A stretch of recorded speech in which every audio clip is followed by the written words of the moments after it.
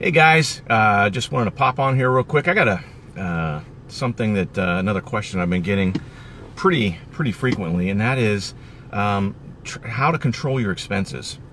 So I've got a couple of ways that I look at this, um, and this is this is kind of the secret sauce here, but uh, happy to help any way I can. So, how do you control your expenses uh, without impacting your business, without having a negative impact on your business? So, one of the things that you need to do course, is if you're if you're in a situation where you need to reduce your expenses, is um, either you're trying to run your uh, business more optimally, more efficiently, or it could be that you know revenue's down and you're so you're trying to cut expenses to you know keep your bottom line uh, bottom line in order.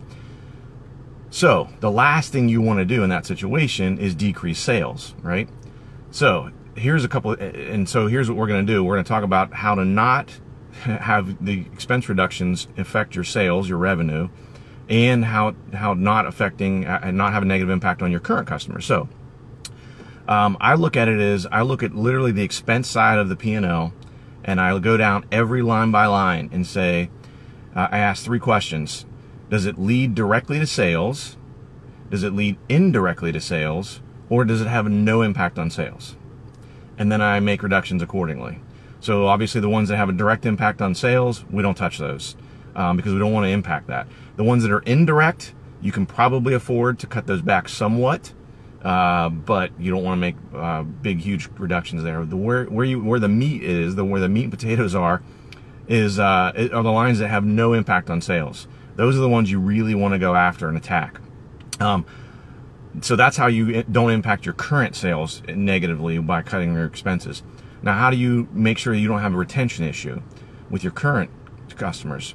So you go through the same exact thing. You go down line by line and you say, does this lead or impact customer service at all, directly, indirectly, or not at all? And you go through the same exercise. So the ones, of course, that don't impact um, customer service at all, you really want to hit those hard. What I like to do is actually take a two-pronged approach and, and literally make two columns next to each of those expense lines and score them based on both of those. And so I look at the combination of the two, whether it be sales or customer service, because again, the last thing you want to do is impact current customers or the pipeline of customers you have coming in. Another real quick idea, and I'll jump off here and get out and enjoy this beautiful day, but is um, we did this with one of my businesses that uh, is uh, has a seasonal business.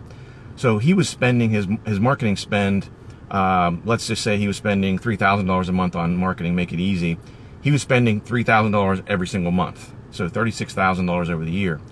What we did was we did what I call throttling. I don't know if that's really a original Mr. Biz term or not, but we throttled his marketing expense. So during the busy season, he has more business than he can he can handle.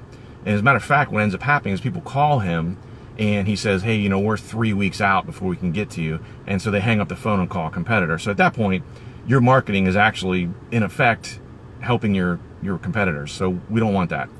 So we literally during his the busiest part of the busy season, we cut back the marketing to almost nothing for those few months. And then somewhat counterintuitively, as we were ramping up going into the busy season, we spent more money during those months than any other month. Because as people were starting to think about that particular service that he offers, we're heading into the season where they would need that, we wanted them we wanted to be top of mind for them. So we were able to take his spend down by 20% overall, but the effectiveness had gone up significantly. So a huge impact, a, a way to cut those expenses, reduce them very effectively without having a negative impact on your revenue, your current customers, or your pipeline. So just a couple of tips there. Hopefully that's helpful.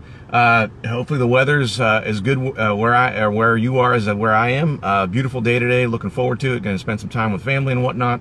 So get out there, have a good time today, people, and uh, hopefully this is helpful. We'll talk to you again soon. See ya.